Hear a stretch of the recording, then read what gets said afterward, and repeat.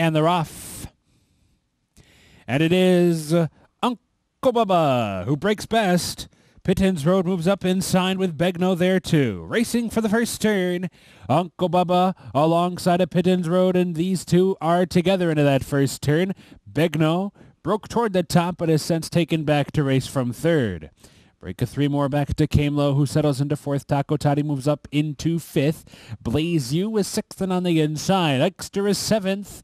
General Lake is eighth by Ford. Adios Kip in ninth. Watch Cupid is tenth. Durkin's Call is eleventh. Eleventh and about 20 lengths off the lead. 23 and 4. This strung out field moves down the backstretch chasing Pittens Road. Uncle Bubba continuing to keep that one company. There's still three clear of Begno, third and on the inside with four furlongs to go. Camelo is inching closer. Here's Camelo now taking over that third position. A break of three.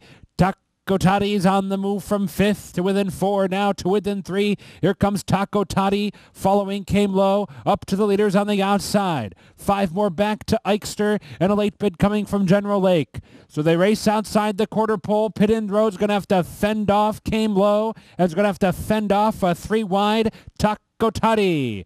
Eichster comes on to take over fourth as they come off the turn. It's Camelo now the leader, but here comes Eichster kicking in outside. Camelo's lead is two lengths. Here's Eichster. Watch Cupid down the center of the track. Taco Toddy fizzles out. Watch Cupid, Pittens Road, and Taco Toddy